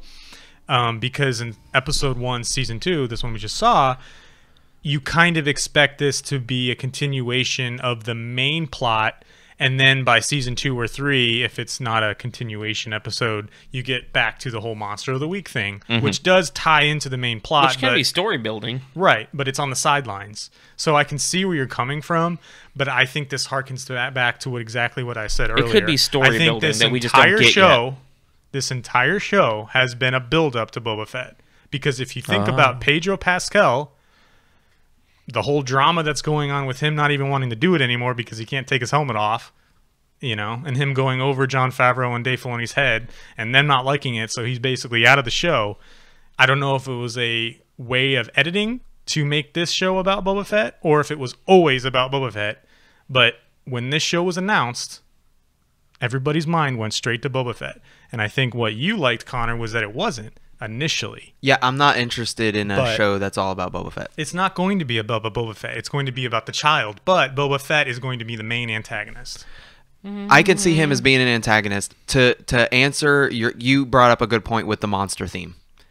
There are certain episodes in season one, like The Prisoner, that do almost zero for world building. Mm-hmm. That is an episode where Mando's like, "I live in this universe. I need money to survive. Let me go do this job real quick." It does nothing for Baby Yoda. We really don't learn a lot about the crew. We just learn that, yeah, before he was a bounty hunter, he was a simple thief, a crime Yeah. lord, whatever. This right? was another Din adventure. I don't think so because there was it was. something that directly implored him to oh his quest, which is for the child. Yeah, I, I do see that, but I just there was not much. I should say screen time of anybody else except Din. But it could be. It could also be. This is the first episode, and you look back four episodes from now, you're like, oh, I see exactly why they were building. So it just could be we don't get it yet. And I wonder if you feel that way if this was first episode of the entire show. You know what I mean? Like almost like we said you could No, almost this take would be an amazing first episode. That's what that's what I'm Yeah. saying. Like it, could, and it, it wasn't a first. Like you said, it's Devil's Advocate. You loved the episode. Yeah, I'm just trying to I'm trying to be divisive and think of a different angle Yeah. to think about the episode with for conversational sake. Well, now that our blood pressure is all through the roof, no, I'm just kidding. um, anything else? Now that we've seen what we've seen, where do we think Temuera Morrison comes back into it? I think Because we have to, we have to bring that up. logically all of us think he's Boba without his armor. In my head, Boba shed his armor in the Sarlacc pit because it's all acid stained and messed up more than Return of the Jedi. In my head, he shed the armor which was protecting him, somehow escaped. That's what I think. I think that, yeah, I mean, I think that he's definitely a main part of the story, and I feel like he's going to be a bigger part of the story than we're giving him credit for. Um, of course, it could all be a ruse, and it could actually be Rax. I mean, Rex. Rex? I keep saying Rax. Who is Rax? Rex? Rax from uh, Rex. from Aftermath, Yeah, right? I Yeah, but Re- I get Rex. what, yeah, Rex. Yeah, yeah.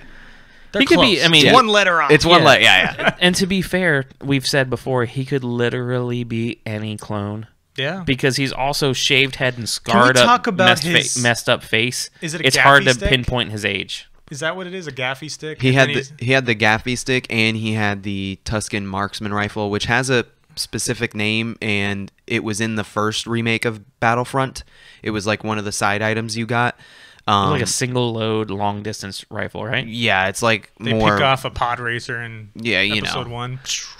Guys, I think it is a perfect time to head over to the Cantina listening post, and we are going to hear some of our fulcrum information. Official patrons only. Yes. So these uh, patrons, once again, they are sending in their fulcrum information, and it is their hot take and what they thought about the episode. And the first one that we are getting is Chris Machado from the FOMO cast. All right, so just finished the uh, first episode of season two, The Marshal. Um, amazing way to start the show. Uh, Cobb Vanth was an amazing character. I love the way they played it into it. Uh, they didn't let you think that he was a Mandalorian for the entire episode. They just came out right away and basically said, "Yeah, I'm not a real Mandalorian. Yes. I just Yeah, really found good or point. bought this armor, quote unquote. Um, I also like the details they put with the Tusken Raider. My favorite part actually was Tusken Raider cleaning the bandit's teeth. Like it was Brushing the teeth. I don't know, like his his pet, but it's his friend kind of thing still. So that was pretty cool. Um, and the humanization of him continuing last season was pretty epic. Totally. Uh, the start of it, I like that they got that out of the way. Yeah, that that's something we've talked about a lot is the light that they're bringing to Tusken Raiders more than Mm-hmm. They're not mindless idiots. Yeah, exactly. It was exactly how the trailer showed, but it was um, a little bit more than we we knew what it was about. And then even even the way that they portrayed the scene uh, with the krayt dragon was pretty intense because it, it had all the movie qualities you would expect from like a motion picture. And Dude, that's a really good point that I did not think about. If Like the that's a- CG, yeah. like the special effects. Holy crap! Yeah, if that's not like and there there was a lot of things like um we talked about John doing this episode. The scene in particular, kind of like what he's saying, and I think he's getting at as well as not only the CG, but it, he said it's done in a in a movie way, a cinematic kind of mm-hmm. way, is when Cobb takes off that helmet and when it kind of like slams to the ground, the camera like zooms in and you know you, you just get that still you you understand mm-hmm. like this is an important scene and there's so much about this episode that is cinematic feeling and no doubt that's because of I can't wait to see a gallery too, and like Yes, the volume. exactly. Like how how did they make the scale of what they shot in this first episode? is like, the gallery bigger now? yeah Or gallery is the uh, The volume. the volume bigger now? Yeah, exactly. And they literally did it, continue, Chris? you know, for a one episode. Thank you for pausing us. uh, long Pausing run on us, the Chris. first episode, which I did appreciate because it gave you time to take everything in. Don't give me and then leaving it on the end with we don't know who it is. Obviously, he's a clone. He's, he's a clone, so we don't know if it's Boba Fett. He has a scar on his face. So I mean, it's the Get it out. The possibilities are endless. Did Rex have a scar? Amazing think start. Uh oh. Um, the hype was and the wait was so worth it, and um, I can't wait to see what we have in store for next week. I I hear a lot of people with the battle of who it is. I think people want to think it's Boba, but you also have that asterisk Yeah. floating. He could be anybody. He's Could literally anybody. the basis of all clones. Yeah. No, for sure. Um, yeah. Biggest point that I definitely like that Chris brought out was Cinematic. the cinematic feel of the episode was, I think, heads above other episodes. Like, there was a, a scale that this Krayt Dragon brought to the episode that we didn't have in other episodes because we were never involved with anything that big, literally. So, I like that point. Yeah. Um, I'm gonna talk a little bit about visual poetry again. So that Okay. moment we see Boba, Uh huh. what do we see behind him in the uh, in the horizon? This guy is Duncan. McLeod. Duncan MacLeod. it's a yeah, it's a thing between him and Chris. Okay. Connor MacLeod, Justin. Anyway, Ah, Yeah, there you gotcha. go. Duncan. Anyway, twin suns. yes, So what do we see at the very beginning of the Star Wars saga? Luke looking looking off into the horizon with the double suns, twin suns. twin suns. We see Rey at the end of the sequel trilogy with the twin The suns. callbacks. All these callbacks, which they always happen in some like visual storytelling moment. There's something bigger here that Favreau is trying to show us with Boba Fett being revealed or clone, whoever he is. Mm-hmm. Something in that shot is extremely important to the future of this show, and I'm saying it here right now on this podcast. It's going to have bigger implications than you're giving it credit for. I think it's just artistic, like callbacks to what grounds you in the universe. Could be. Our next call is from Jonathan Kuhn. Now, Jonathan, I'm very excited to hear If you what want a have to job, say. Jonathan, Listen, come on down. I- We are going to have get this. Jonathan on the podcast. he'll get this because I asked him if he wanted a job because I had the wrong person's name. Oh, okay. There you go. If you're looking for a job, send me your license. First off, I just wanted to say what an amazing episode. It was awesome watching it for my third time. Anyhow, um, I thought it was Us really too. cool. We got some cool insight into Mando's thought process because at first, when he sees Vanth with the armor, he's like, "Hey, I'm going to need that armor back." And when there wasn't really like an easy solution, it was like, "Well, I'm just going to pretty much take it from you." But then when the dragon comes in, um, Vanth offers another solution for Mando to get the armor back, And even though it was riskier for Mando, he could have just been like, "No, I'm just gonna, you know, I'm just gonna take it from you." Um, he chooses to do something that's riskier for him and more dangerous for him, but keeps everyone alive. And you know, now he's got another place that maybe he can go to, and you know, that's like a secure place for him where he's welcome. So I thought that was interesting just to see how how he was willing to Bend. take a risk. Yeah, there's That's a great point. I yeah mean, It just shows that Din Djarin's. I don't know if he was doing it for the armor or he was doing it because this town needed help. I mean, a freaking great dragon is terrorizing the town, and It's not the first time he's wanted to help a town of Yeah. distrodden people. and I think he just was like, "All right, I'm going to kill two birds with one stone here. I'm going to help the town, and I'm going to get my armor back, or Mandalorian's armor back." I- yeah, and like Jonathan's saying, it's it's it's an a testament to his thought process of not only do I know how to get what I want, but it shows the human side of Din of Oh, yeah. helping. He's a good guy. yeah, exactly. Yeah. Good guy Din. I definitely like that. Good guy did. We need to start that just to avoid, you know, just killing somebody to, to accomplish what he wanted. So, cool episode. Um, awesome, awesome development. So, can't wait to see what, what they have next. Thank you, Fulcrum Jonathan, for that information. That Once was really again, good. It Send me- opened up all these like thought avenue pathways after I heard his little explanation there. Um, and again, it, it I don't know if you guys want to talk about potentially where season two could go a little bit, um, but it's obvious that Pedro Pascal is not going to be the actor anymore. So someone is going to be underneath that armor, whether it's Din Djarin lookalike or someone else under the armor, or are we going to tr- transition to a whole other character? What? It's possible. It's, it's, I don't think that's possible Why not? Why not? because it's called the Mandalorian. He's Well, still doing all there's the a voice lot of acting. Yeah, and he's still doing the voice acting. There's a lot of Mandalorians. I, I'm just saying. It- okay, let That's me. my let- opinion. That sounded mean. Yes. Let me rephrase that. Is it likely? I don't think so. Could it happen? Yes. where do you think this season two is going to go? I think that it will end with a more clear direction of him that has given him more force wielders. We are going to find some sort of a Jedi Okay. by the end of this season. It could be a Hmm. cliffhanger where he finally has a beat on whether it be Ahsoka, Ezra, Luke, whatever the case may be. Going along with what you're saying, I think they're with the reveal of the dark saber. You can't have the dark saber without some sort of match against it. Yeah. Whatever that will be, it could be Din in his armor. I said that before. Right. Beskar armor. The entire point of it is to deflect lightsaber blades. It could be a melee of Din and a vibro knife and a pistol against Gideon with his untrained dark saber. I don't know. Yeah. But the whole, I think it is going to build to the climax of some type of dark saber battle. Yeah. I think the way that season one ended.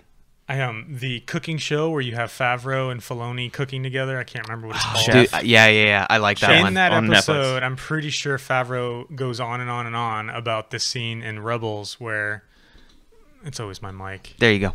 where um Sabine and Uh-huh. Kanan are fighting and training, and he's like, Yeah, "I yeah, love yeah. that." I love that dialogue too. Yeah, and Yeah. he, I think, I mean, again, this is all my opinion and kind of my intuition, but I'm Magistrate's thinking he opinion. kind of wants, yeah, which holds a lot of weight.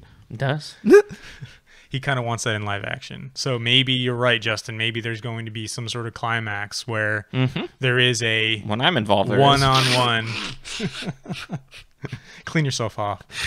Um, one on one dark saber and and uh, yeah. Anyway, No, I totally forgot where I was going. no, with no, no, no. I, I got where you were going, and because that was like a that was an, that was a part of that season that subverted from the Jedi thing, and we get this Mandalorian, which is Sabine, and she's now just as strong, right, as Kanan, right? Right. So the Right. the the subversion of Man of Mando, Din being the strongest Mando.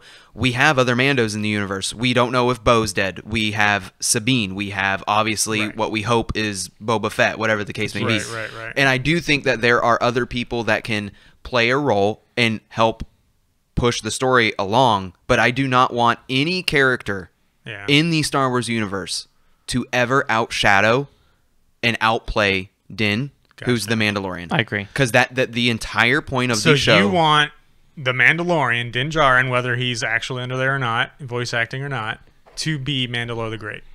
Wait, what? This is uh, so you you think that we're gonna get to a point where we reestablish Mandalore? Why not? The the show is called The Mandalorian, so why not them reestablish their It doesn't sound like you want him to be I mean, I Mandalore feel the like Great. I feel like that could be like seven seasons in a yeah, possibility. 10, 10 but seasons. Yeah, I that's don't like feel like that's like a season two, episode one. I'm just saying. theory. no. I, I would like that. I you would know totally what? agree. You know what? Write this down because if we are ten years from now and the show's still going and Russell nailed this, Yeah, exactly.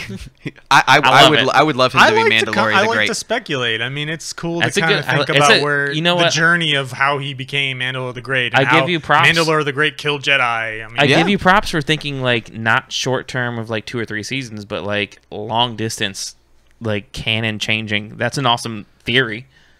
I, I, like would it. totally give him Mandalore the Great. Do we have time for another? Let's yeah, do one. No, let's yeah, do we, one we do more. have one more. We Let's do do. one- We have time. We have all the time in the world, my friends. We are going to play our last Fulcrum No, transmission. do we have time for one more because of all the hundreds that were left for us?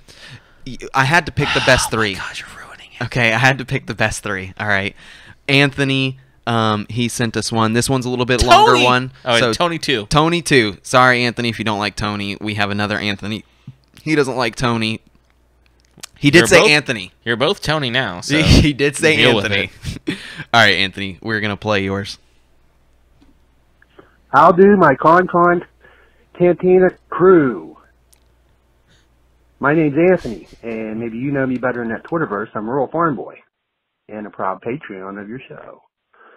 So tonight, we're talking, yins are talking, Mandalorian, Season 2, Chapter 9, and want some listener input and thoughts. Well, I'm a long time listener of podcasts and I'm a long time fan of Star Wars. And the story that we was just told, I've never had an expect or a want from anything from a Star Wars story that's told to me because I know that I, I've been, I love everything that is Star Wars. I know that these Oh, I paused it by mistake. that we was just told I did like what he said there. I found I found where I left off. Is he likes uh, being told a story that he's not expecting? Yeah. Yeah. Which is where he he's, he was going with that point. I really do like that too. So he likes Last Jedi. I've never had an Don't bring that or a up. want. He he likes all Star Wars. anything There you go. a Star Wars story that's told to me because I know that I, I've been I love everything that is Star Wars. I know that these these stories, as much as we can love them, they're not ours. So I don't have a want or an expect. But It's a good point. It, it is a good point because that's something that we all, all three suffer mm-hmm. from. Mm-hmm. Is we all have an expectation. Make it what I want. Yeah, make it what we want. If. Din doesn't become Mandalore the Great, I hate this show. all right. hey, you're entitled to that. And if Boba Fett outshines Din, I hate the show. Oh my God. Oh, I thought you were gonna say something else. Never mind. Oh no. Play the show. Tony, play, continue. Play Tony. Thank you, Anthony. See, you know what? I'm gonna message Anthony. I'm gonna be like, he, he like I said, he said Anthony, so we're we're sticking with Anthony. People like to be called what they like to be This- called. Exactly. just went a whole other different way, and we're only at the ninth chapter so far. Mm-hmm. True. I can't say enough how excited I was to watch everything that we were told. Would have never guessed, and I know there were rumors before, and I didn't buy into any one of them, but I was floored.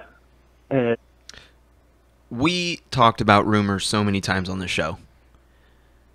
Anthony with all the points. Yeah, seriously. And that and and when the first time I listened to the to the this transmission, I I don't know why I didn't catch that, but we had multiple episodes that were solely well, about two episodes that were solely based around rumors for episode 2. Right.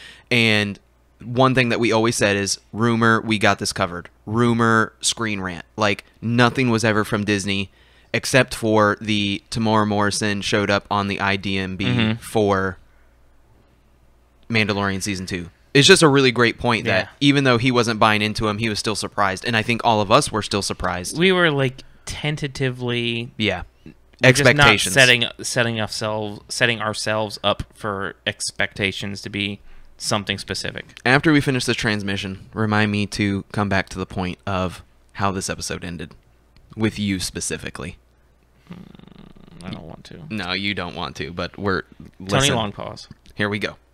as many of our friends were, to see, to really get to see a character we was told in the story from a novel Long right in front of us, Cobb Vanth. Cobb Vanth, yeah. Who'd have figured? Justin. It Justin. may have changed the story a little bit from the aftermath interludes, but Yeah, I noticed that too. holy mm-hmm. force. Yeah, and and you we were talking about that on the phone today and, and Anthony brought it out that the interludes are a little bit different. Which okay, lis- watching the show back, Yeah. it could have just been Cobb's version that he told our Mando. Mm-hmm. Yeah, like, yeah, yeah. "Ah, I traded for some Jawas. Like Yeah, it- yeah. that could have been a totally fabricated, not fabricated, but like altered story, like for the point of who he was talking to, which is a human trait that people do. And we see in the gallery, we see that John has a knowledge, but it's nothing that any of us would consider deep knowledge when uh, um, Dave is kind of telling him about the scene with C-3PO in the head. That's a deep cut. Yeah, that's a deep cut. And it's like, n- no, that's No, like it's just a regular part of the movie. That's you not a know deep cut. Dave Filoni was a consultant on this episode. Yeah, exactly. And that was my Oh, point. yeah. And that's a great point that Anthony brings out is like, this is so deep, and you called it out. And not a lot of people Yes. have read the Aftermath series, and we've been telling people for a long time now. Read it. If you're missing out and you don't feel like there's Star Wars content out there, trust us, there is. Read hmm. these new canon books, however you want to read them. That's the first trilogy book of canon that we've had, and since then, the only one that has came out is what's currently coming out, which is Timothy Zahn, who I've talked to, your best friends. the number one rejected podcast by Timothy Zahn. He didn't reject us. He's just too busy at the moment. well, Because he he's talk- writing a book. He still talked to me. He did. Let us finish with this transmission with Anthony. Send it, Anthony. Long I pause. cannot just imagine what's coming up next. But There it is. that's my thoughts. totally floored. I'm still picking myself up. For- and I'm looking forward to hopefully That's other listeners of KonKon Cantina sending in some messages like me. And cannot wait. I got a reserved spot in my playlist for the next you. episode coming up. Woohoo! Dude, it left us floored too. Till your next episode. Oh, sorry. Thank you. For real. Like May the force be with all of you. I'll see you on the radio. You got to let my man finish, Justin. you're the you're the worst interrupter, Anthony. Long pause. We really truly appreciate the message. I think. Listen, Chris had some good information. Jonathan had some good information.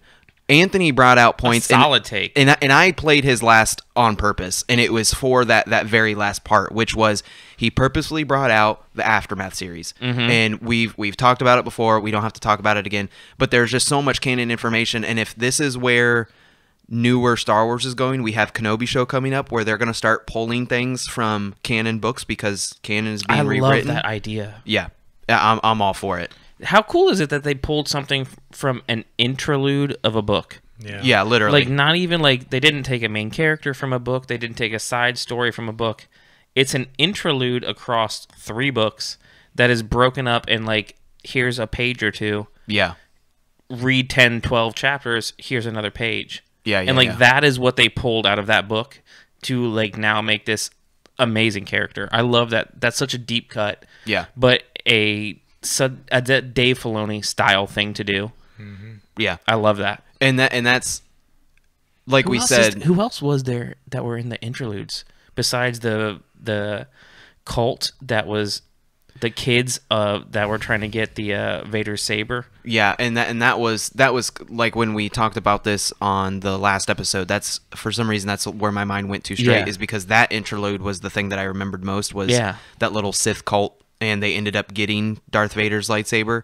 They're like Um, underground trader. yeah, yeah. like and that kind of like was going almost towards that like steampunk type of thing that we're getting with the They're Nile Coruscant. and- yeah, they're like exactly. little kids in the sewers of Coruscant. Guys, once Wow. again, thank you, Jonathan. Thank you, Chris. And thank you, Anthony, for your Fulcrum transmissions over here at the Cantina Listening Post. We very much appreciate it, My guys. favorite part of the show, honestly. Yeah, no, that was fun. And we, we've done hot takes before, but having something so particular where they can call that number and we, we have this topic that's they're going to give us their thoughts about the episode that we're talking about. We have seven more episodes where we're going to be getting these hot Mm-hmm. takes from more people, guys. So very much appreciate it, guys. Seriously, that if you that want was the awesome. number, join our Patreon. Yes, it is Patreon for the Cantina listening post. That is for the Patreon. Guys, before we head into news, I only had one thing oh written Oh my to- God, have written for news. Yeah, th- there's just so much like there's a lot of toy news and I didn't want to get into all the toy news. The biggest piece of news is and this is super important. My wife's favorite artist is Thomas Kinkade. For real? He is That's her famous. favorite artist? He is famous for all Thomas of his Kinkade painting hanging in my hallway. it consider it gone cuz she will steal it from you now. It's huge. She loves his stuff because she's The such painter of light Yes. is his tag. and he's such a uh, he does he's famous for mostly his Disney stuff. What? And how can you have well uh, okay to me I know him mostly for his Disney stuff. I, Okay. obviously he paints more than just Disney, but he is licensed by Disney to paint their stuff like he has tons of, of Disney stuff. He has an entire Mandalorian series that just came out. Holy crap. Yes. Does Mandalorian. I need to see that. Yeah, the pictures are really really cool. They're real paintings. Well, they're printings of real paintings, but I think they still print them on canvas. They come with frames. Not super cheap, but super super cool. That was really obviously that was just Mandalorian specific. I had to bring that up. The only thing I have to bring up in news is uh, Halo Infinite losing its game director again. Again. Dude, Ugh, don't have high hopes for this game. No. it, it's really sad. Um, with more news, it's not a delay, but this one is. Cyberpunk got delayed again. I saw that. But it's only like three weeks or something. Which there's been talks about they're trying to get Doctor Disrespect in the game. I don't know if you saw that. So people are saying like that's what the because Oh, they to put be like a CG person they li- character. yeah in that because game? they put Doctor Disrespect in uh, Rogue Company. So this new third person shooter came out, tactic game, and he's like, guys, I love this game. I used to be a map designer for Call of Duty. Let me design you a map and put me in the game. And they said, okay, you have 24 hours. If we like your map, we will put it in the game. They liked his map. It's in the game. It's called The Arena. It's his map and his character skin. You can purchase it and it's in the game. And now there have been other talks. We already know that Keanu Reeves is in Cyberpunk. Mm-hmm. That yeah, they're he putting launched the game. exactly. Yeah, S- super disappointing about Halo though. Um, I've been looking forward to that game. It it's like you said to lose another game developer at three four three Director. our the game. director. Yeah. n- that's not good. That that can't be a recipe for good things to come. Halo's been on a downward slide since Reach. We're still gonna buy it. Yeah, we are. Yeah, Probably. yeah, probably. Because it's Halo. Guys, thank you so much for joining us on this journey.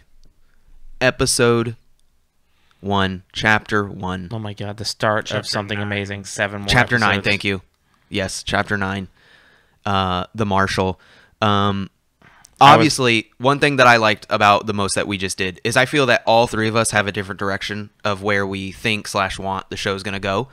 And if that is not a testament to we don't know. Yeah. like you see what i'm saying? Like it's a really good thing. It's making this conversation. This is why people seek out podcasts. Like people want this information. They want ideas. They want theories. And if we are all not disagreeing it's just we all have different ideas like Yeah. that's that's a really cool thing so hopefully it continues to go in that type of direction I said like 10 times, I don't want Boba Fett in this show. yeah The way they, like, with Cobb Vanth and, like, possibly Boba Fett, Mm-hmm. Temuera Morrison scene, I'm like, God dang it, I didn't want this, and now I want it. now i want it Yeah, full like- send russell Yeah, I mean, you know where my opinion is. I just I think that the world of Star Wars and the fans of Star Wars just have been thirsting and been so dehydrated for good content yeah True. that I've been so content with not really caring where the show is going because they're just self-contained so good. Each episode is so good. It's like finally I'm getting some Star Wars water. You know, I'm in a Yeah. Tatooine's desert and I'm so dehydrated and each episode is That's an oxymoron. Yeah. it's a metaphor. Can't be in a desert and have so much water. Well, with each episode, I can. It's the stinky water that the Tusken Raiders give you, Oh, and the you don't gas want to Do you water. expect me to drink this? Yeah, Smoky exactly. gas water. So, anyways, Looks like something the Taken would have in Destiny. So not knowing or caring, I guess, where it's going to go because each episode is just so dang good yes, is a testament to how good the show is. Guys, it's good. I was your boy. It's KonKon, and of course, the man sitting across from me, the PR man himself, Jay Breezy, and our returning guest. Russell Allen, We Magister. see magistrate. you guys next time.